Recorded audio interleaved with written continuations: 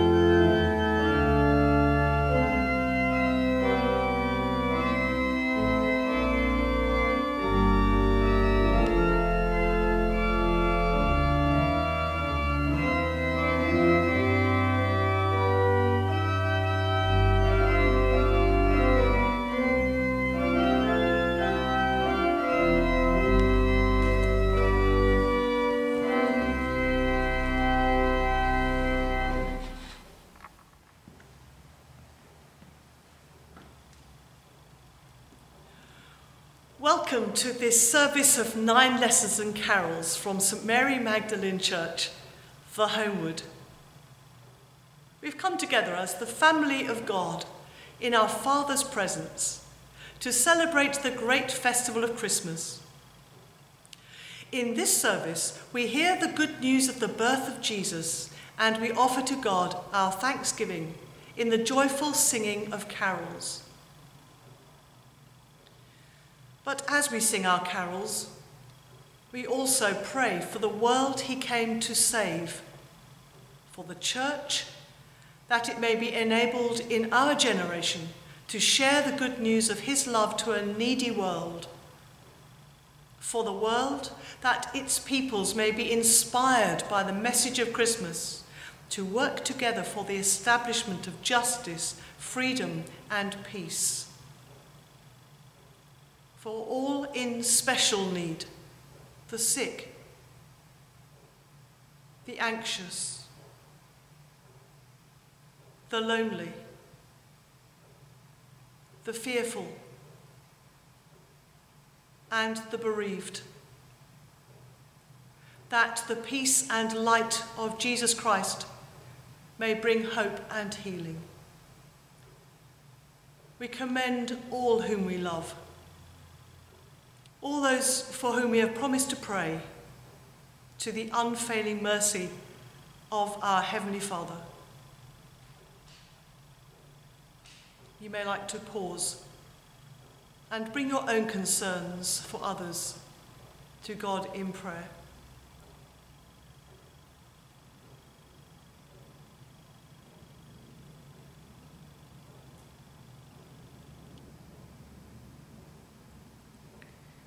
Our Father in heaven, hallowed be your name. Your kingdom come, your will be done on earth as in heaven. Give us today our daily bread.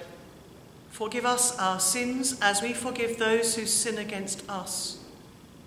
Lead us not into temptation, but deliver us from evil. For the kingdom, the power, and the glory are yours, now and forever. Amen. Almighty God, you make us glad with the yearly remembrance of the birth of your Son, Jesus Christ.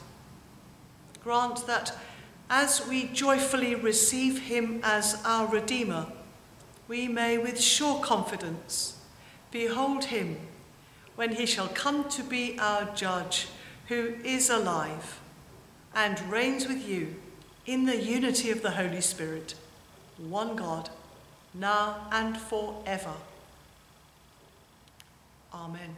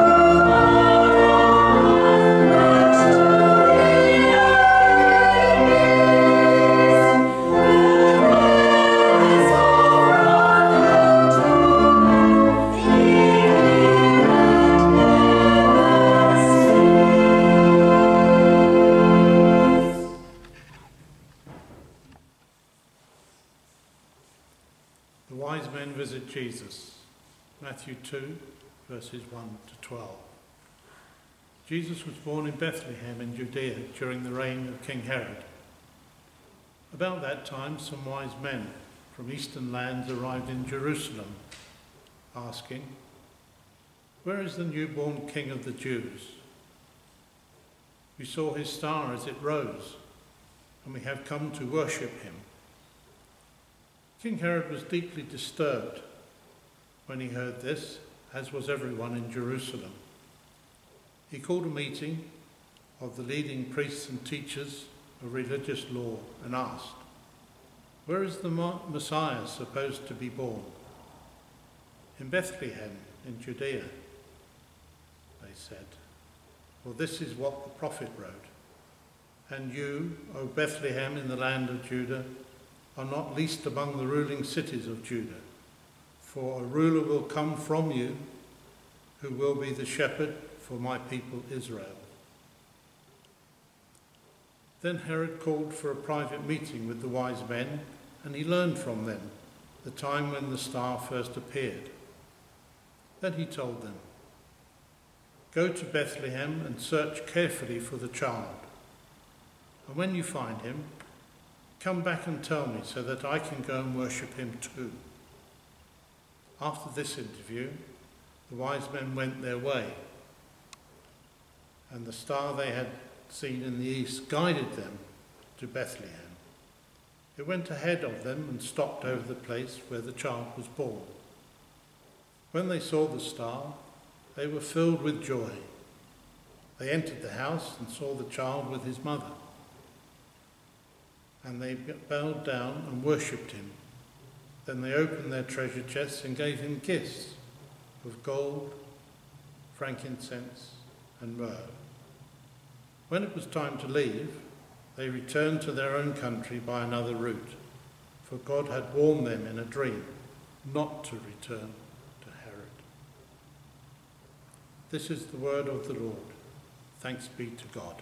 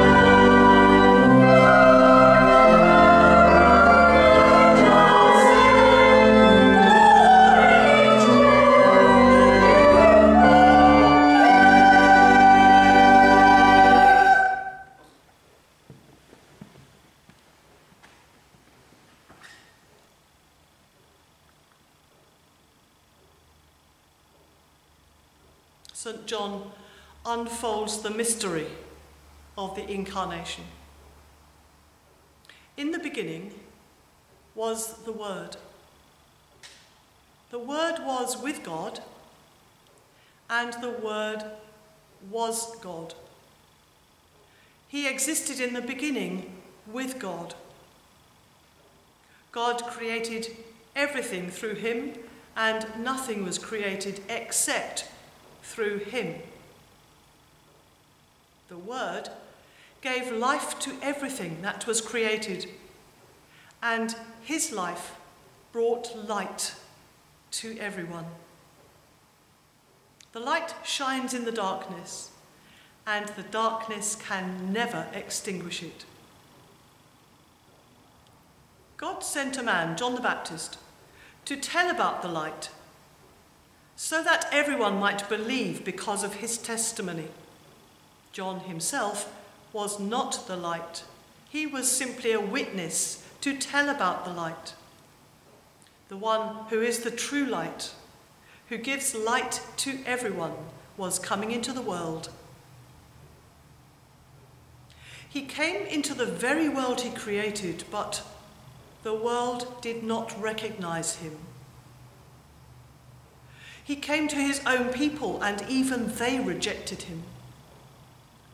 But to all who believed him and accepted him, he gave the right to become children of God. They are reborn not with a physical birth resulting from human passion or plan, but a birth that comes from God. So the Word became human and made his home among us. He was full of grace and truth, and we have seen his glory, the glory of the Father's one and only Son.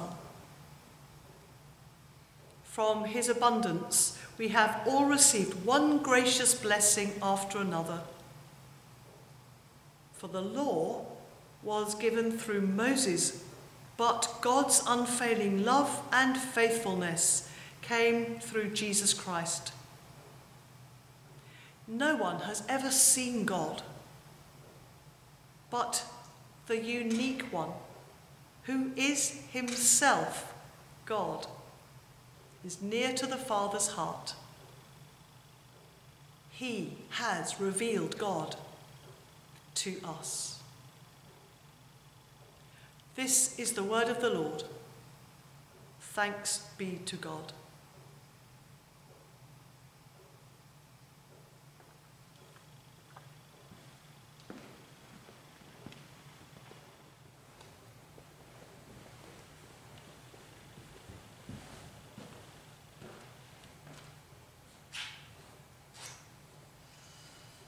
Christ, the Sun of Righteousness, shine upon you. Scatter the darkness from before your path and make you ready to meet him when he comes in glory. And the blessing of God Almighty, the Father, the Son, and the Holy Spirit be among you and remain with you always. Amen.